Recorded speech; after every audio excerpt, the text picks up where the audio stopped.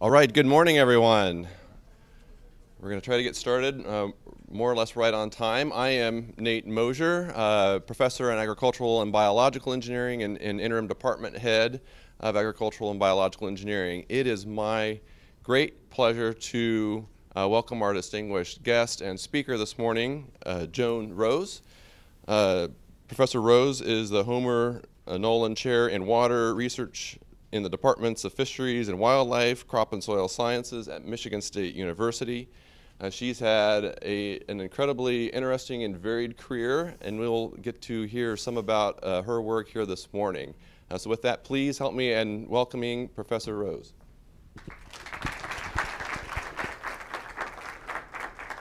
Thanks very much. Uh, it's a pleasure to be here. I drove over and I missed the storm.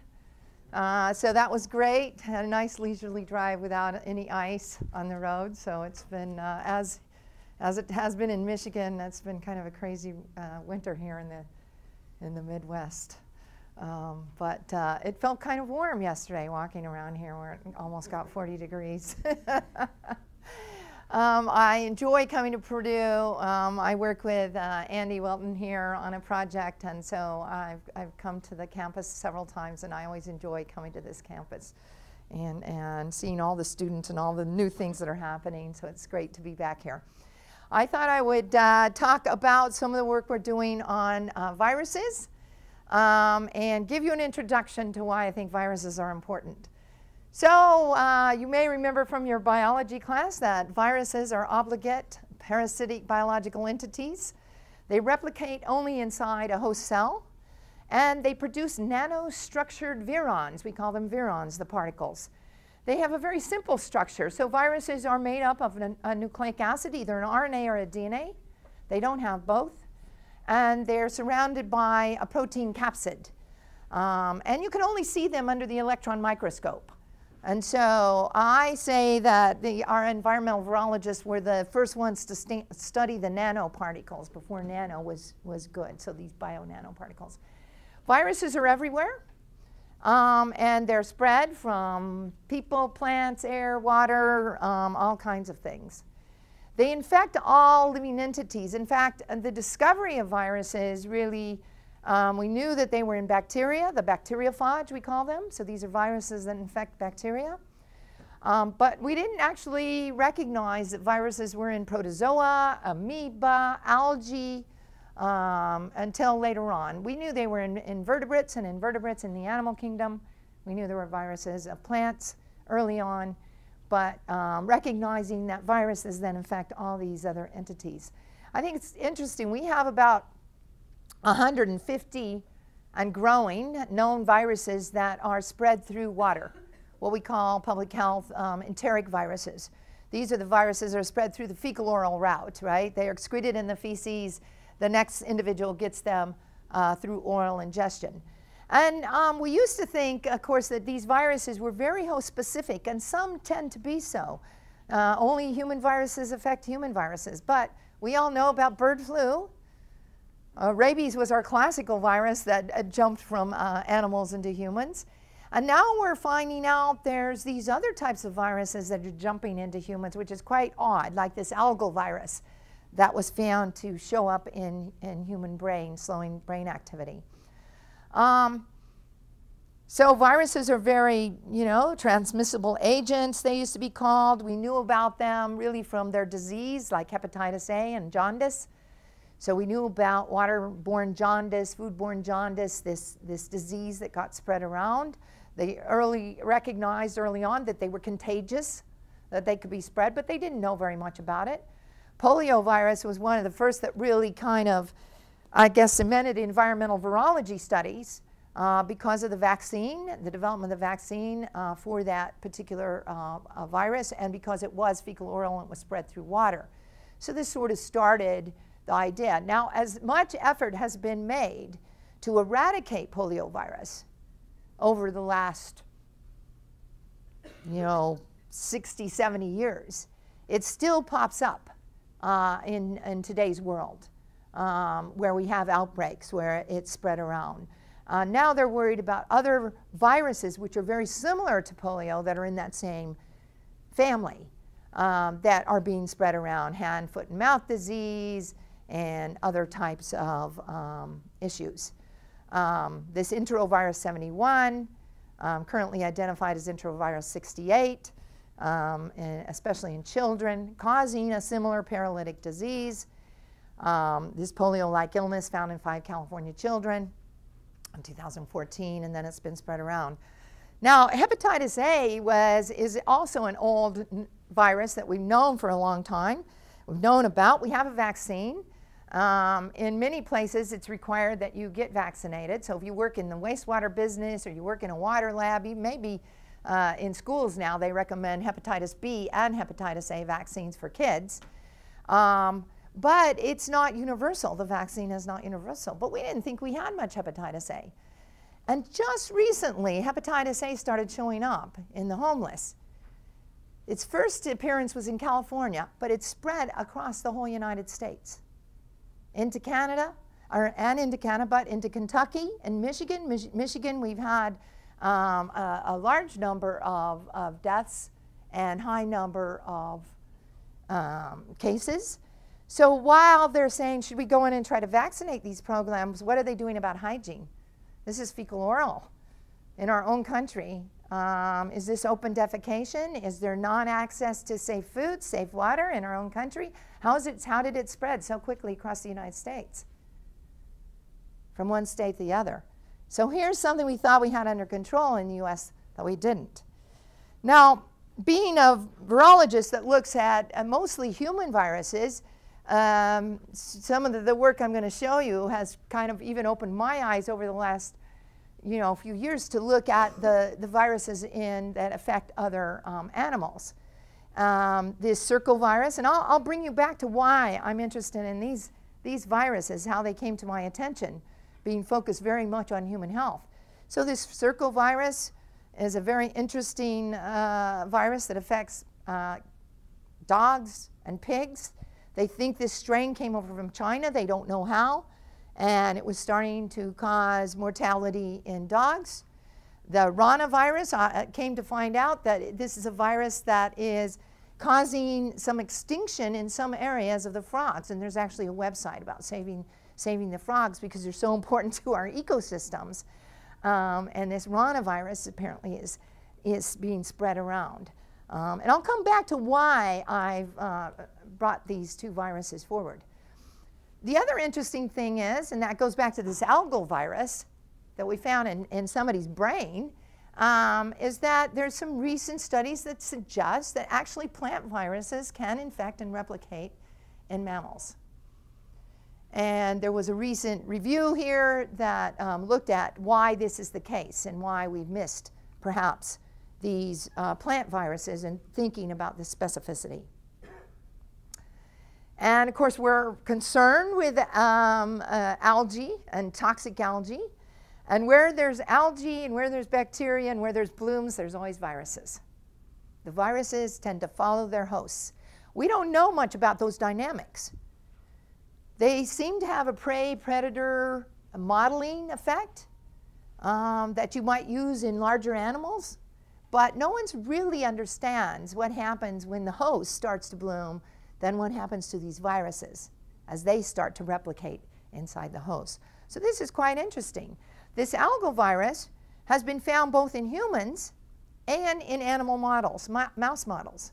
It's called the stupid virus in Europe because it impairs cognitive abilities. And yet we don't know anything about how prevalent it is in the environment, how many people might be exposed, how many people might have uh, been uh, infected with this virus as it passes and attaches for some reason to the mammalian brain cells and enters in to um, cause death of these cells and hence uh, problems uh, with our abilities. Now, the new technologies, as you know, the genomic technologies that arrived with uh, human genome studies and then the human microbiome studies, these are instruments and technologies that have allowed us to sequence to look broadly where we couldn't look before. We actually had very limited tools to study viruses. And even with PCR, which was, came in in 1985, um, that seems recent to me. I'm sorry about this young audience that, you know, that 85 sounds like it was a long time ago. but, you know, when PCR came in, you could use PCR, and we do, but we have to know the sequence. We have to know the gene sequence to develop a PCR methodology where we can use the molecular understanding of the DNA or RNA to design a diagnostic test. Now with these new instruments, we can start to look broadly at the unknowns. And in fact, they've used this um, to look at disease um, and disease in humans and animals. They've used a variety of these tools. And what that means is that you can see the expansion of knowledge on new viruses identified. New viruses identified, and it's, an, it's, a, it's a very sharp increase in growth of knowledge since the 1980s when, and 60s when these new techniques you know, started coming in and we started using them. And I'm going to come back, not to talk about the methodologies, but I'm happy to share that with anybody that's interested later or send you some papers, but about what we found with these new methodologies. So let me get back to the hundreds of waterborne viral pathogens that cause disease, because that's my interest. Um, they cause a whole array of diseases that we already know of. Diarrhea, of course, is one. They cause respiratory illness, so there's waterborne viruses that cause respiratory disease. Liver damage, kidney failure, heart disease, cancer, nervous system disorders. Just recently, they've identified some Coxsackie B viruses that they think are associated with Alzheimer's. So these viruses that can move from the gut to other organs in the body, like hepatitis A moves from the gut to the liver, right? These viruses move to other organs in the body, and that's where they cause the disease. And so this Coxsackie B, which is a common enteric virus in sewage, um, showing up um, in the brain and causing um, Alzheimer's.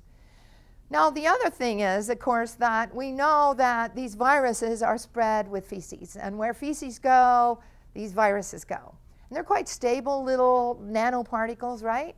And we know that our waters are quite susceptible to fecal contamination. Why? Because our population lives near water.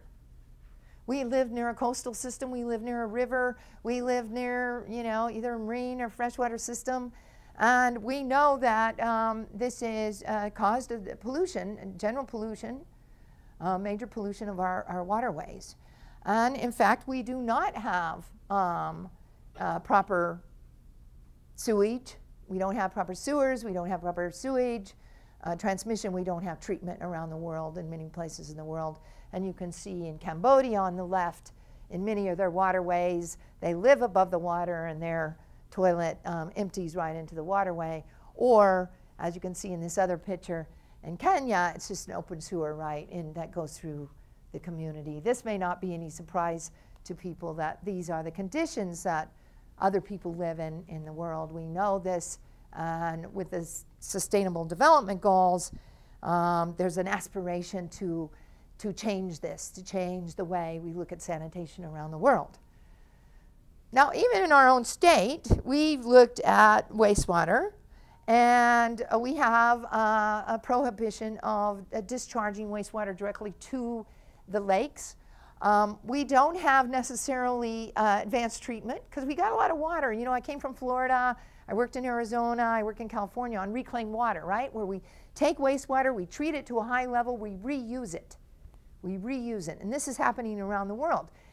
Michigan uses about 0.01% of their wastewater, reuses it. They discharge. But we do have a rule in the Great Lakes that says water that we take in the Great Lakes should stay in the Great Lakes. We should return flows.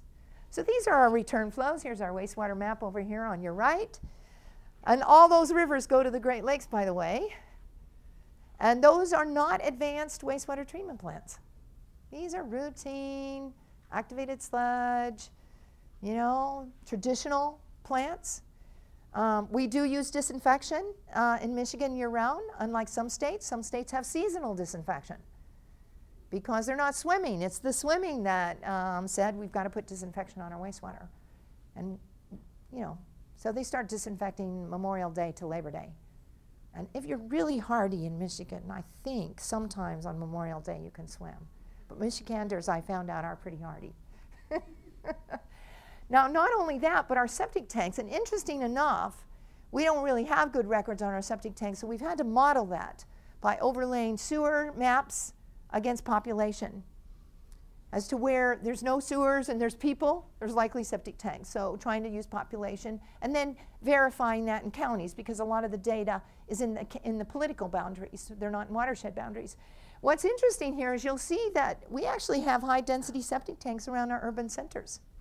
As they've rolled out from the urban, they've used on-site wastewater systems. Um, so we have a lot of wastewater that goes into our environment. Now, we've been gathering data with the Global Water Pathogens Project around the world on concentrations of pathogens in sewage to try to focus on how um, engineers and managers might look beyond the indicator system when they're designing and adding to their wastewater systems to be sure that they're actually protecting public health. Because if we just use our indicator system, which is E. coli, it's a bacteria. It is not sufficient for viruses. A bacteria is so different from a virus. It does not help us understand that we're protecting public health from viruses. And one of the things we also found out was that viruses are excreted at extremely high levels as part of their strategy for transmission. So they can be excreted at 10 to the 11th per gram, you know, 10 to the 12th per gram, and they end up in wastewater and, and uh, once it's diluted out uh, between 10 to the 9th, 10 to the 7th, 10 to the 9th in wastewater. So very, very high concentrations. And uh, viruses tend to be very potent. Um, so just a few viruses. Uh, what potency means is that you don't have to swallow very many viruses to initiate infection.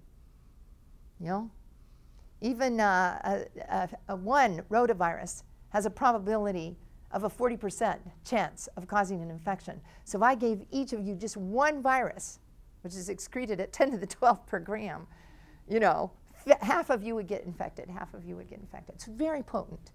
So we want to know with these new methods who's there, and we want to know uh, what, you know, try to find these unknown viruses and not just look for the ones we know about, the tools that we have. What are their concentrations? So concentrations are very important to risk assessment. They're important to our control. How much, how much removal do we need? Do we need 90% or do we need 99.999999%, right? We need a lot of removal here to protect public health.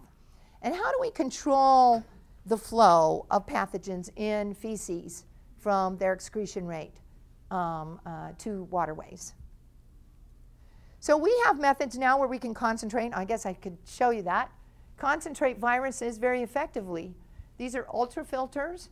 Um, we can get 60 liters, 100 liters. Some people do 1,000 liters of groundwater. It depends on how, you know, dirty the water is. It'll go through these, these filters, and we get a concentrate um, where we can look for um, viruses. From there, we can do a whole series of different um, types of um, tests. Traditionally, we use cell culture. We have to know what cell culture, and then we grow the viruses up. We can actually grow them in these cells, and we can look at their impact on cells. Um, we can do EMs. We can do further assessments. So cell culture and isolation is still important. Um, but more and more, we've turned to molecular biology tools. Now, the unique thing about viruses is that we need RNA detection as well as DNA detection because we've got DNA viruses and we've got RNA viruses. And our methods for DNA viruses won't detect any of the RNA viruses. And so we've got to use reverse transcription. So we've got to do special things to get the whole array of viruses there. And of course, we have the metagenomic studies. That means we look for everything, all the DNA, all the RNA in a single sample. The problem with that is if you don't separate out the viruses from the other stuff, which is pretty big, a bacteria has a big genome compared to a virus, or protozoan. You can't, you miss the viruses. You can't find them. You can only find the most abundant viruses, which are the bacteriophage, and you don't see the other viruses, the rare virome or the pathogenic viruses. So we must process our samples to remove as much of the other material, the big stuff, to look just for the viruses, and we must look for RNA viruses and DNA viruses. Now, I want to show you some data over the years um, of, of what we've what we've done. Um, we use traditionally cell culture um, to look at viruses. This is in raw sewage. Uh, this is on the bottom is the year, uh, the month um, over a year, and then th we've got the different kinds of viruses and bars that we were able to identify in the cell culture system. Now, originally we would take antibodies, or we might do a PCR test. So that means we look at one virus at a time. This is a microarray system. It's set up to look at the whole genome of the family of viruses. So it's a big platform. And you could look and see what viruses were there by lighting them up, by, by their, their probes lighting up. And you could distinguish the RNA from the DNA viruses as a confirmation. And what we found for the first time in, an, uh, in a survey is the increase in viruses uh, showing up in sewage in January. Now, is this a seasonal effect? Others have said disease is seasonal. Um, but often we don't have an understanding of the concentrations and how they may change or the diversity of viruses that might change. So this show, this was showing us that we had a whole array, and the, and the RNA viruses were actually even more diverse. And this may be due to the way RNA uh, can mutate um, in terms of creating new viruses compared to DNA, right? So you get uh, there's all these viruses that were showing up and showing up at certain times of the year uh, that we weren't even looking for um, you know, astroviruses and sapoviruses and things like this. Um, now, let's see if we can play this little video. This gives you just a, let's see, a visual of what probes showed up over time. So the time is at the top, and these are the probes lighting up. And so this was one of the first times that gave us an insight, a more dramatic insight to this change in virus excretion from our population um, over, over these seasons and how much we were really missing. Now, through metagenomic techniques then, um, we started looking more broadly. The microarray had to be built with genomes that we knew about in the database, right? So we had to know about the whole genome of the virus and put it on a microarray, this new technology. But with metagenomic um, approaches, we could look for any viruses there and, and blast it against our known databases, kind of like a fingerprint testing, right? Well, this, what we found is not different from what other people have found in using metagenomics for viruses. 60, 80% of the viruses, they're viruses, so they hit a certain part of the genome that says they're a virus. We don't know what they are. They're unknown. They cannot be identified in our database. So there's a whole big group of viruses in our wastewater. We don't know what they are. We haven't a clue. The ones we did know, we found single-stranded RNA viruses, unclassified double-stranded DNA viruses. But what was interesting with these single-stranded DNA viruses, so not too many people were looking at the single-stranded DNA viruses. And I'm going to come back to that because the circle viruses are single-stranded DNA viruses. And we found plant viruses in here. We eat plants. Now, are these viruses that are infecting humans and ending up in sewage, are they pass-through viruses? We actually don't know. So plant viruses are found in sewage. Are they coming through our food chain or are they replicating? And we found animal viruses. Now we do have leaky sewers and we do have farms around and maybe they're, we're discharging, you know, these things to our sewers systems. Or are these animal viruses that are infecting humans that we don't know about? We don't know.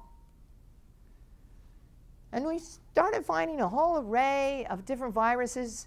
The polyoma viruses, which have been known to cause cancer, uh, show up through, uh, through urine. Circovirus, you'll see there, I don't know if I have a pointer here. But circovirus is, is there, one of the bigger circles. Um, the circoviridae uh, showing up. And so this started having us look. In fact, that's why I started looking up the circoviridae family. I said, what is this group of viruses? What are they doing in, in sewage?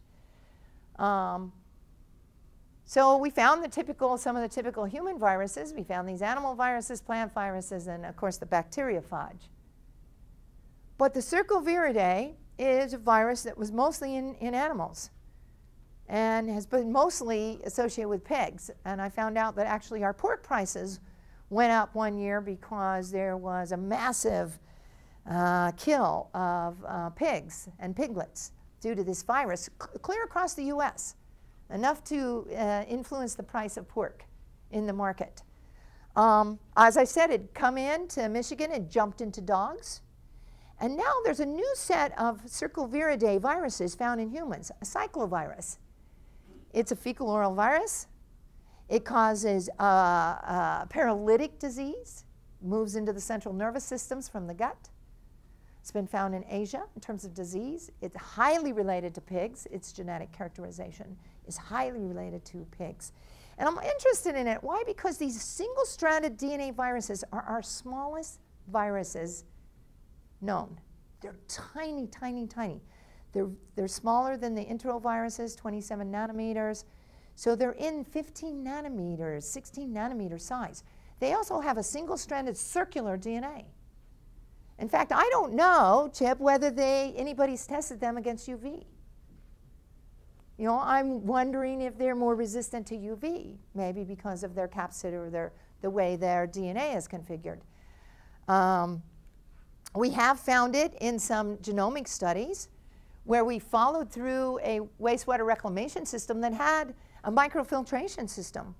And so what happened is that the Cercoviridae, this is relative abundance. So this tells us how many viruses are there relative to each other. A after a membrane process, the Cercoviridae was appreciably increased. That must mean in abundance studies that it went up. We didn't get the concentrations. But in relative abundance, if you see that bar going up after this process, it's, it's those number of sequences belonging to that virus were, have, were appreciable. Um, and so uh, other people have now found that these little tiny viruses are going through some of our membranes that we thought were very good barriers to viruses. We found, done some same things in Kenya wastewater system, and they have some interesting viruses showing up. The Kobu virus, which is, is a, a, a serious uh, uh, virus. Um, hepatitis A shows up there. COSA viruses. Cardiovirus is a virus that affects the heart. So these are some unique viruses. We don't know that. We don't see those very often in the United States, but we're seeing those, these types of viruses of concern in, um, in Africa. We also have, um, you know, a lot of studies going on to look at inter, just general enteroviruses and rotaviruses. Rotaviruses are still showing up in our wastewater despite us having vaccines um, for our young children. Um, still causes um, diarrhea, and there appears to be some seasonality, but these, uh, this is the range in, in concentrations that we find uh, through wastewater system over time. And this is across the U.S. This is at about five different wastewater plants uh, uh, in Virginia. now, there's been a strong interest in trying to understand how we remove viruses in wastewater. These are fecal oral, they're going to end up in feces, they're going to end up in, in raw sewage. So how do we control them? How do we get rid of them? Um, the coliphage here on the far left has been, is a virus that affects E. coli. So it's been used as a surrogate often, and it's easy to cultivate. And in fact, um, EPA has recommended that wastewater treatment plants use the coliphage more frequently than just E. coli or what's in their standard. Most wastewater plants do not use coliphage. In fact, if, you go to a wastewater plant where they're monitoring, they don't even know what a coliphage is. But it's an easy test. It's cheap. You can get the results in 24 hours, unlike some of the other viruses. So coliphage is a, is a good indicator for us, I think, to use in uh, virology studies. And what we found is that between primary, where you see the, the, the top bar is, your, our, um, is our raw sewage, and the bottom bar is what's in our secondary influent, um, you're going to see that in some cases um, we have uh, uh, high variability in the influent, like for salmonella. So salmonella infections and excretion, we've got high variability coming into the plant, but we narrow that variability by our treatment process. So our treatment process is able to control salmonella to a greater extent in terms of the, but the variability coming in is quite high. With the fudge, it's an indicator. We're always excreting it. It's like uh, Giardia and some of our E. coli's. What's coming in is quite consistent. We know what's coming in. But even what's going out, we don't always control with our treatment process. So our variability coming out might be higher. And so we see that with the coliphage. Now I want to point out these last three bars here to the right. So this is total cultivatable viruses on cell culture. The next set of bars is cell culture with PCR techniques, using molecular techniques, where we can identify which viruses might be in that cell culture. And the last bar is just qPCR, just viruses, particles, virus particles.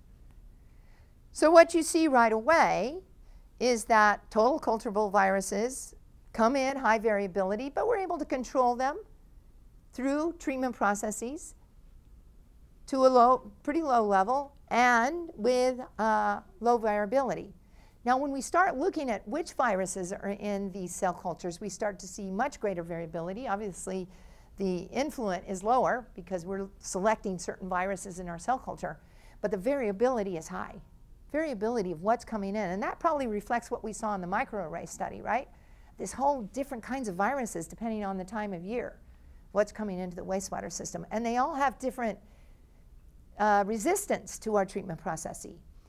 But then when we got to qPCR, where we're just looking for the viruses, we've got a large numbers of viruses coming into our wastewater system. We don't remove them very effectively. Now, we don't actually know if they're alive or not. Are these viruses we can't grow in cell culture?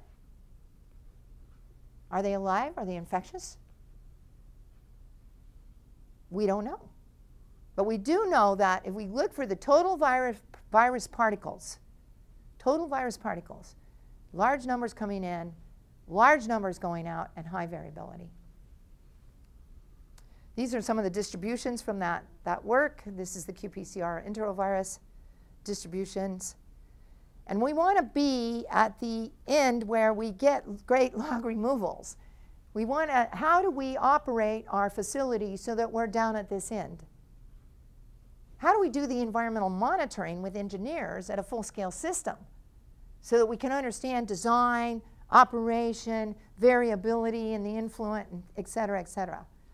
So this is our goal, is to go to high, full-scale systems, do enough monitoring that we start to understand this variability.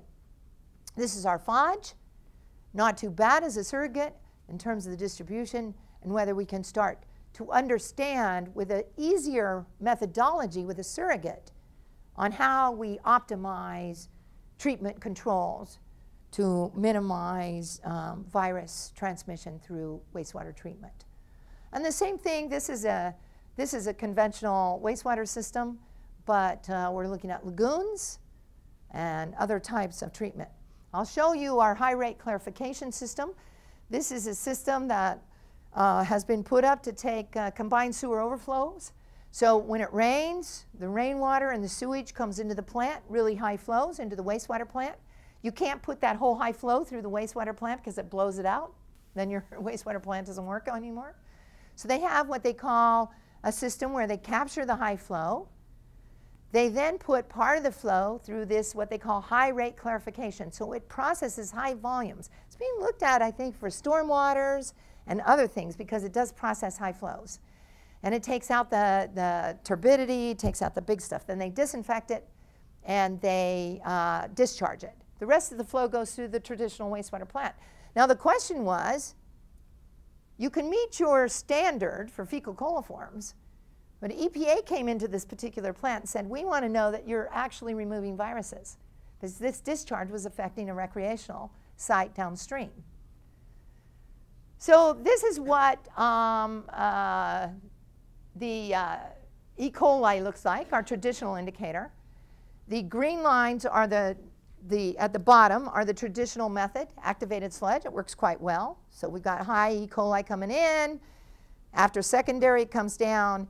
And by the time we disinfect, we're below that red line where we're at the standard. With high rate clarification, it's a little higher. The E. coli is a little bit higher. Um, but we can meet our standards if we optimize disinfection. we can meet our standards. Enterococci is a different story. Enterococci is another indicator that is suggested to be used. It's a different group of fecal indicators, and it's more resistant to disinfection. And in fact, many people have suggested we use uh, enterococci when we're optimizing disinfection because it is more resistant. And you can see it follows a, similar trend, um, but it's harder to disinfect. And so we've been taking this data to work with the plant operators to say how do we optimize disinfection to bring that enterococci down below swimming guidelines. So there's swimming guidelines for enterococci. Now this is what the coliphage look like. They're nano, right? Nanoparticles. High rate doesn't take them out. And in fact, our ability to disinfect them is quite different. Um, and trying to optimize disinfection is difficult. This coliphage method, by the way, is a culture method. So we can actually look at disinfection. It's not just doing particles. We think they're attaching to different sized particles in an upflow clarifier. We think there's a different kind of distribution of particles that these nanoparticles, these viruses are attaching to. It's protecting them because these viruses should be quite susceptible to our chlorination process. But in this clarifier, they're not. And we don't know the mechanism of what's the distribution of particles. Well, how are particles moving in this system? How are viruses attaching to them?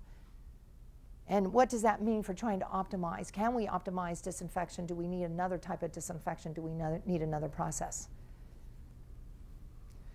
Now, I'm going to end by telling you the story on the work that we did in um, ballast waters. And uh, this is really the work that I think has opened my eyes to the world, the broader world of viruses, even though I, have called myself an environmental virologist for a long time. I wasn't really looking at the whole biosphere, the whole array of viruses that might affect, you know, our, our planet. Um, and this study really opened my eyes to this. Um, we did some in the Great Lakes, but I'm going to focus on the marine water work we did. We took samples in uh, Long Beach, and we took samples in Singapore. Now, um, these are the locations. The green is uh, the Los Angeles uh, uh ships and the red are the Singapore ships. And if you know anything about ballast water, it's water that's taken up to stabilize ships. The, where the dots are is where the water was picked up.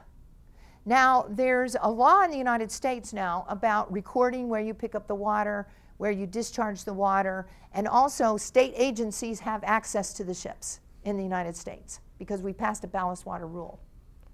So you can go onto a ship and get a sample with the state environmental agency. Now in Singapore, it's a different story. We do have a um, uh, guideline from uh, the Marine Commission, a global commission that talks about what we should do with ballast water, but it's up to the country whether they implement these guidelines. In Singapore, they're uh, implementing them somewhat, but by the ship owner. So in, in Singapore, we had to get permission to go into the port and go on the ship by the ship's owner.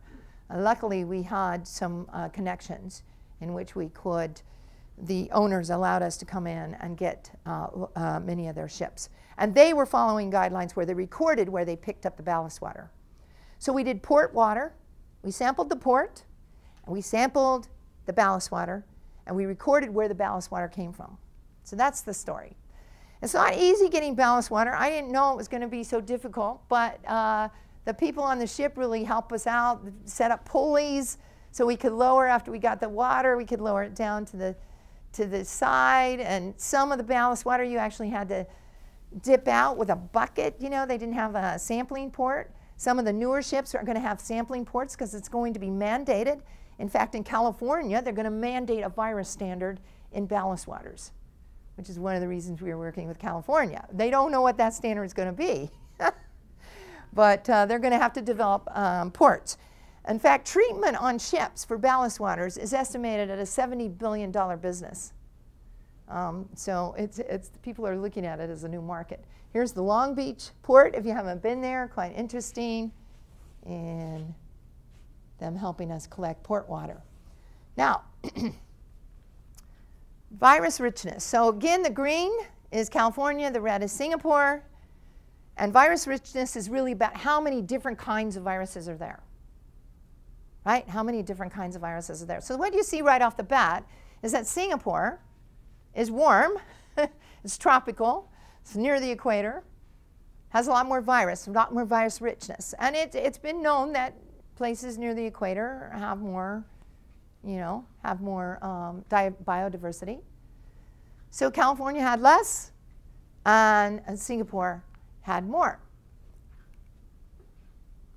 And we started looking at whether we could relate these viruses to either engineering or um, other aspects of the ballast water. So time in ballast tanks, right? They picked up the water over here and it took 10 days to get to the port. It took 20 days to get to the port. Over here they picked it up, it took two days to get to the port. We want to know if it was time in the environment. Distance from the shoreline. They're supposed to pick up ballast water. It's a guideline, and we saw that it wasn't always true, but they're supposed to pick up ballast water at 500 nautical miles from the shoreline. Well, they don't do that. Um, and so uh, we had a lot that were, you know, near the shore. Uh, somewhat a relationship if you started looking at California, but not very strong. No relationship with the Singapore uh, group. No relationship with um, different um, other different parameters that we could find. Temperature, um, somewhat of a relationship, but if you separated out California, the, the ships coming from in the Pacific mostly, you know, from, from Singapore, the temperature didn't make a difference. So the relationship was because we had warmer waters in the Singapore samples, and so all the reds were up there and the greens are there. Um, salinity, again, not much of a difference there in salinity. Believe it or not, ballast water gets picked up if it's near the shore or if it's rained. There's some fresh water. There, it's not all just ocean water salinity, and I was surprised to find that out. Now we started separating out. All these boxes on the bottom are the different groups of viruses. Phage, vertebrate viruses, invertebrate viruses, plant viruses. And what we found was that phage didn't give us very much resolution. Now there's been something said about everything is everywhere, just a different abundance. And that's what they've been saying in these marine studies about phage. Everything is everywhere. Everything is everywhere. But when we started looking at very specific viruses that might actually represent that ecosystem, that particular environment, we started seeing relationships. And interestingly enough, it was with lat longs.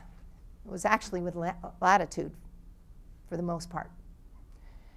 So the latitude may represent temperature at that particular location. It may represent the, the, the environment at that particular location, what's unique about that. So this tells us that viruses, we are transporting viruses from their location, unique viruses, when we start looking at plants or animal viruses. We can start to see these trends. It means that we are picking up viruses that might be unique to this one environment and moving them to another environment. You can't see it with phage, you have to go to the more rare biomes.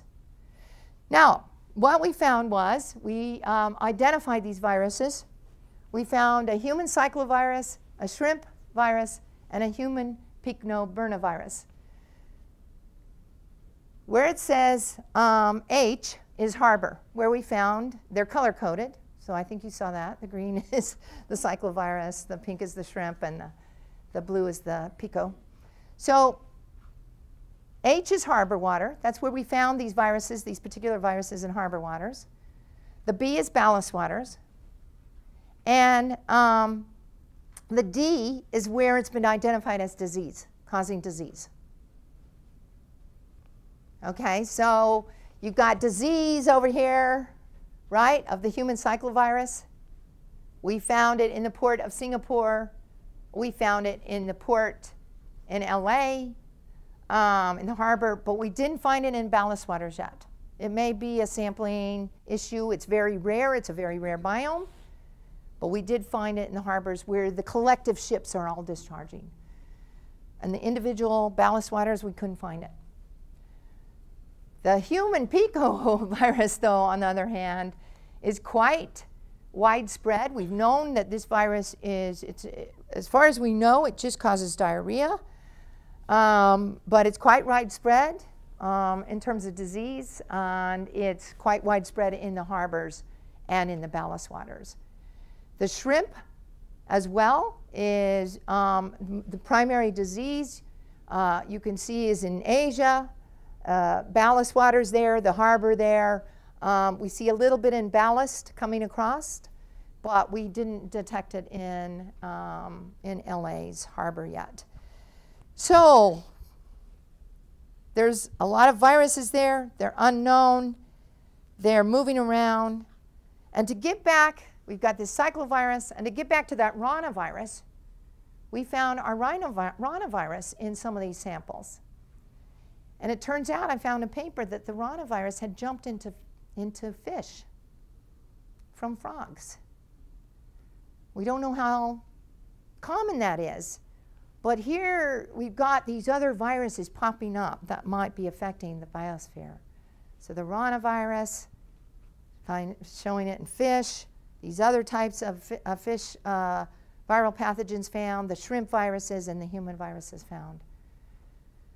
So I'm going to end. I'm going to say that we've known about some of these viruses for a long time where they're still struggling to control them, either through public health programs like vaccination or through hygiene,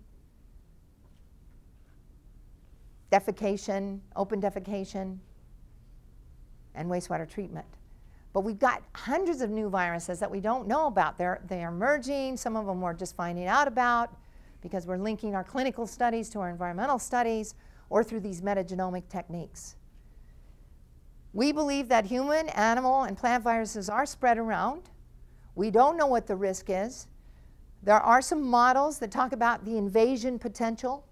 How many times does a, uh, you know, an invader come into an environment and, and, and, and you get a hit where it takes off?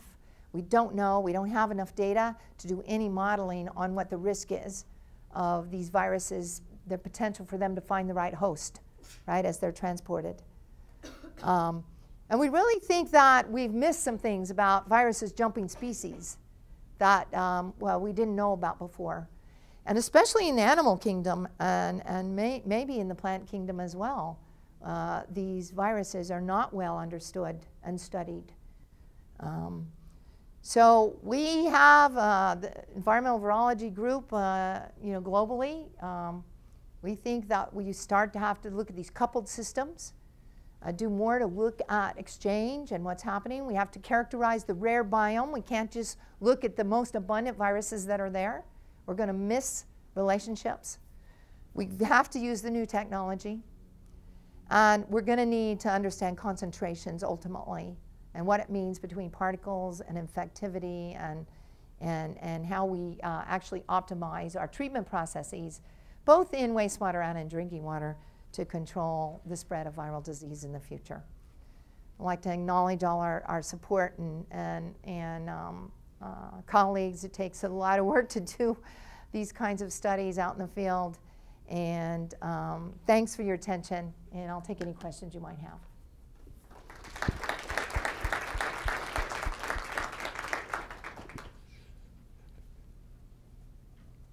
All right, so we do have uh, a good amount of time for any questions that you might have for Dr. Rose. I uh, ask uh, anybody in the audience who would like to ask a question, please press the button on the microphone on the tables in front of you so that your voice can be heard. Did I talk too fast? we have more time. So how many of you have had a virology class?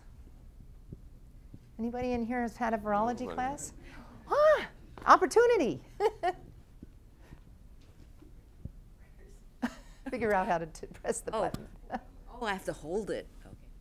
Uh, so ballast waters are also a potential source of invasive species that come in. Mm -hmm. So once those ballast waters with the viruses get dumped in the harbor, what's the chance of them now becoming indigenous to that region? Yeah, so that's what I was saying. We don't really have the models to do that prediction. We do have a couple of viruses that come into the Great Lakes through, they believe, through ballast waters.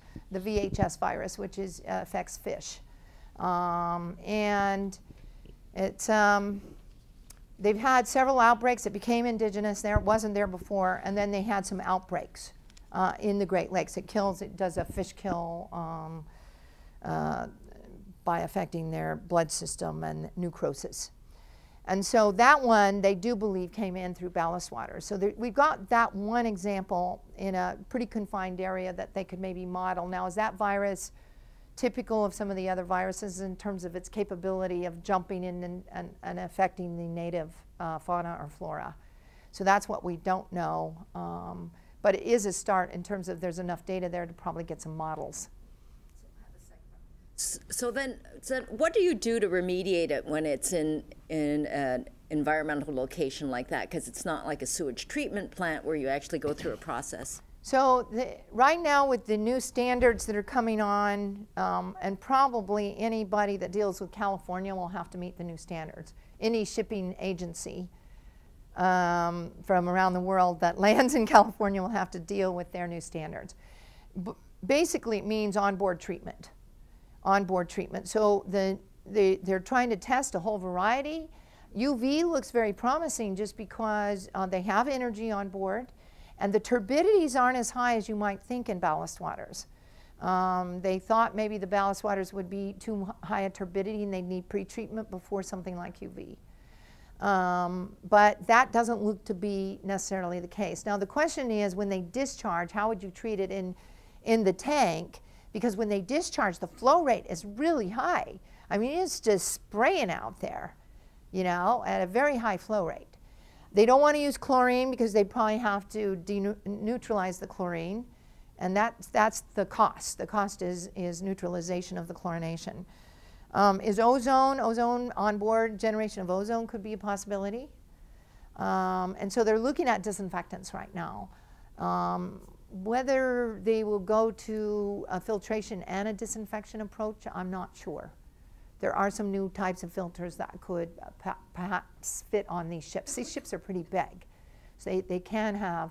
Now they were thinking of a pump and treat, but it's not, it's not possible. Logistically, you could not pump and treat all the ballast water that comes into this port.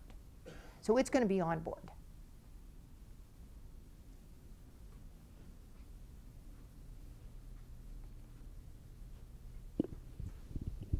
So, Joan, um, so human norovirus is a big deal. It's responsible for a large fraction of waterborne disease.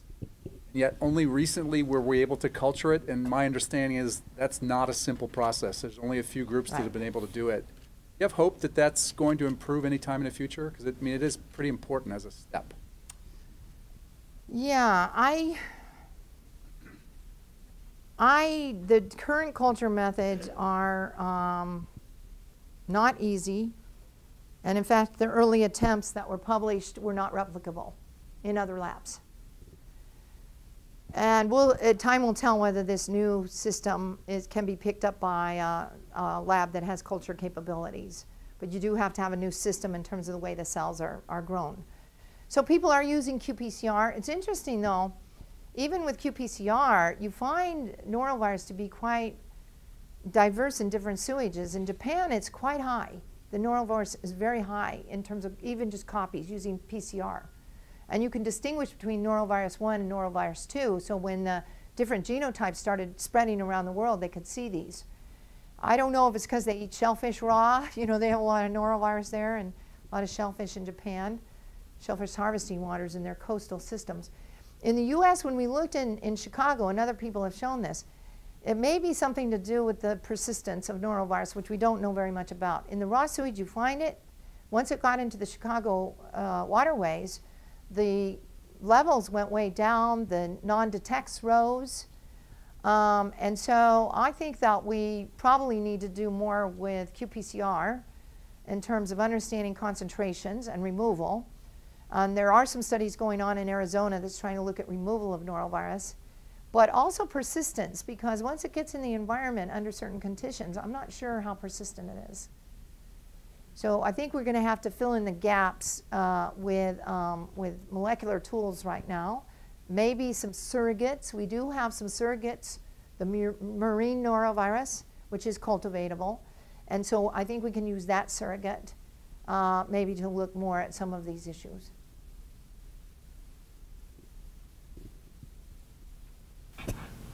Joan, I had a quick question. In your um, last slide, you, you, you talked about the need for technologies, and you have at multiple points referred to uh, metagenomics and you know the, the, changes that allow you to investigate the phenomena uh, you're looking for. Where, where do you see um, needs in the needs space of what kind of technologies would really help make your work easier? Yeah, so um, I think over the last, even over the last five years, there's some new concentration methods. And I'm just reading about a pipette system that once you concentrate it from the ultrafilter, you can take that volume and further concentrate it down. And it's fast, it's supposed to be efficient. It hasn't been published very much, according to the manufacturers. So these technologies are out there that could make it easier, but ultimately, um, with viruses, so there's so many steps, even for the, the uh, handheld sequencing, that is fast. We can use that. But the steps in between take us two days.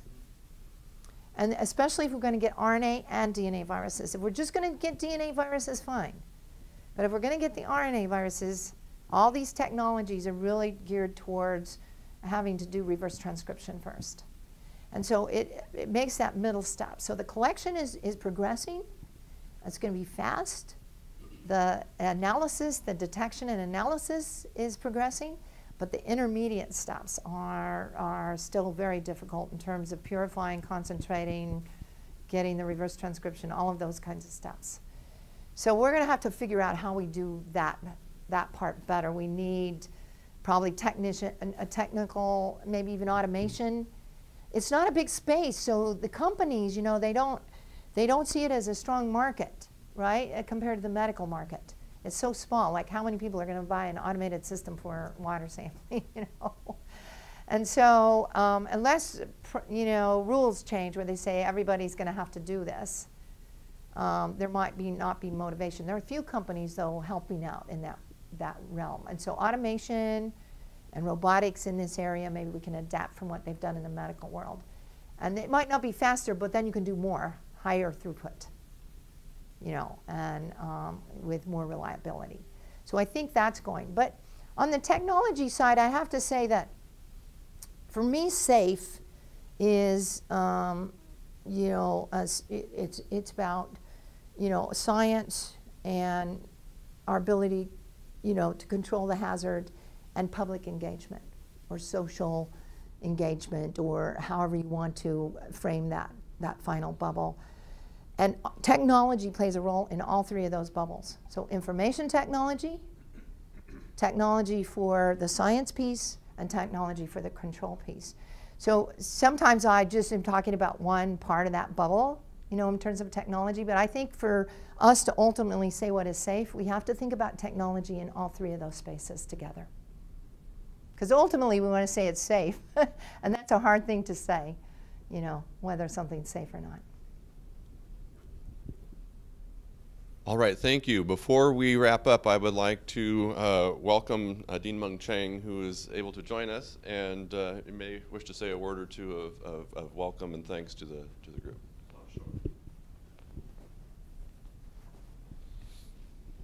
Thanks, Nate. And thank you so much, uh, Dr. Rose, for such an illuminating lecture. Uh, and I usually do this at the beginning, but I think it's better to actually do it at the end uh, because I just learned over the past 55 minutes uh, such a fantastic lesson about viruses. And uh, uh, as you know that uh, we started the College of Engineering um, Distinguished Lecture Series uh, about a little over a year ago in order to bring the world leading experts uh, from different engineering disciplines to Purdue. And we're so delighted to welcome Joan Rose to be our distinguished lecturer today. and indeed, as we aspire to the pinnacle of excellence at scale at Purdue Engineering, uh, we realize how important it is to look at interactions with agriculture, with environment, with policies. Uh, and we have our ABE school, uh, fantastic school. We have our division of environmental ecological engineering, and then there are also other faculty uh, throughout engineering college from civil to mechanical, working on related topics. Uh, and again, uh, I wish I uh, could you know, welcome expertise such as uh, Dr. Rose uh, back to Purdue uh, for as often as your busy schedule allows. and as you know, that uh, Dr. Rose, as a member of the National Academy of Engineering and recipient of both the uh, Stockholm uh, Water Prize and uh, um, the, the recipient of both developing and developed countries honors. I know that you're working busily with Gates Foundation and UNESCO uh, in Uganda, uh, and I think uh, you are the recipient of this honorary citizen from Singapore. Uh, I don't know. That means you have to pay their tax as well as U.S. uh, tax, but uh, it demonstrates the impact uh, of our distinguished lecture today throughout the world uh, in very different kind of environment. Uh, some very developed cities, states, and others uh, developing countries in a very different continent. Uh, so the depth and the range of your impact is a true inspiration for all of our faculty and students here at Purdue Engineering. Again, thank you so much for joining us here, Thank you. John. My pleasure. Thank you very much. Thank you so much. Thank you so much. I learned a lot from Lecture. Outstanding. Thank you. Thank you.